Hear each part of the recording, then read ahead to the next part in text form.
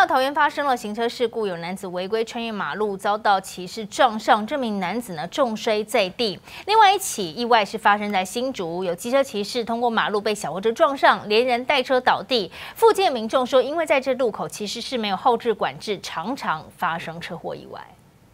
画面中，一名机车骑士停等在路口，见没有来车通过马路，没想到下一秒，一台小货车疾驶而来，驾驶刹车不及，朝骑士撞了下去。事件发生在新竹石平路附近，民众表示，这个路口没有号志管制，经常发生车祸。红绿灯是它有定时定定时的两个时段，嗯嗯嗯，有管制，其他都是嗯，闪灯事故多，都是快，没有看到这样，车速都很快就对了，对对对，因为你没有没有号志管制嘛。另一起行车事故发生在桃园大关路大马路上，车来车往，一名机车骑士蛇行通过马路，他先闪过路边行人，这时一名男子违规穿越马路，骑士闪避不及，撞个正着，男子重摔在地，鞋子喷飞，他起身后一脸错愕看着骑士，骑士赶紧上前扶着男子手臂，确认男子伤势，只见男子将鞋子穿上后挥手示意自己没事，转身就离去。影片抛上网，网友直呼根本两个三宝，其实没看路，行人也没看路，两人真是相见恨晚。男子唯一规定走斑马线，任意穿越马路，加上骑士未注意前方路况，才酿成意外。记者何梦谦、刘志展、林文综合报道。好，再看到在凌晨一点多，新北新庄两名员警呢盘查违规修理车，驾驶黄包身份，还踩油门要绕跑，而企图拦阻叶姓员警，惨遭拖行百米之后重摔倒地。另一名员警是立刻鸣枪示警，事后警方寻获空的涉案车辆，锁定一名二十岁的通缉犯，追缉当中。这不是你啊！你跟他差那么多。修理车并排违停路边，远警立刻上前盘查，驾驶却谎报身份，被识破后甚至心虚，发动引擎想漏跑。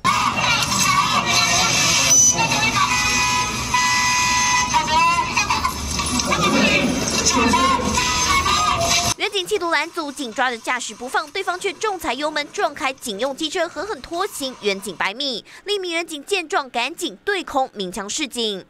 最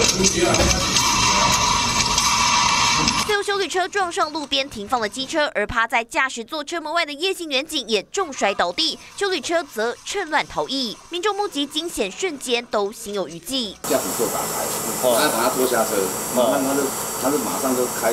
他马上车就加速冲出去。案发后不久，警方在五百公尺外的中信街找到涉案车辆，仔细踩证，发现车内物品摆放凌乱，车辆没熄火，雨刷也没有关。当时有那个做事要发动引擎，然后我先喝令他说：“哎，你手要干嘛？”然后把它放在那个方向盘上面。当下就是一个警察一个责任吧。被拖行的叶姓远警全身伤痕累累，手部还包着厚厚纱布。警方调阅监视器，掌握车上两名嫌犯的身份。驾驶是二十岁的潘姓通缉犯，他身上背了炸气等四条通缉，还有毒品前科，后续将因妨害公务、伤害等罪嫌侦办。记者黄天耀、在山新被采访报道。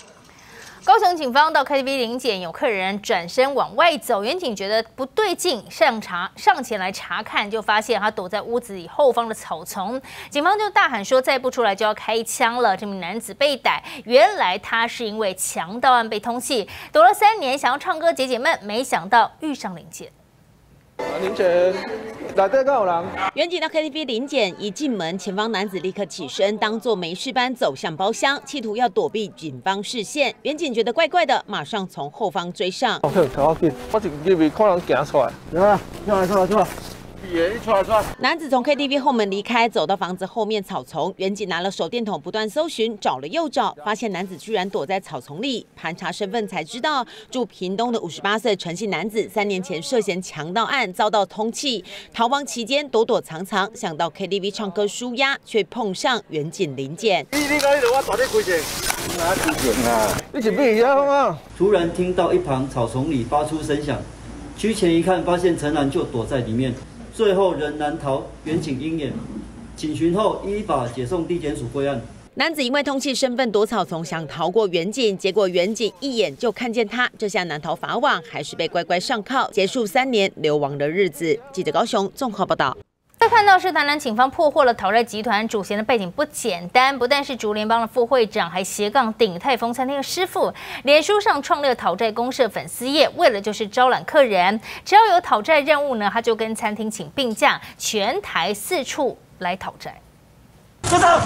住手！远警全副武装，荷枪实弹，举着枪锁定白色轿车，逮捕犯罪集团首脑。好的。眼前这名男子来头不小，是竹联帮副会长，还是知名餐厅鼎泰丰师傅？讨债手段凶残，还在脸书设立讨债社团，扩大集团势力。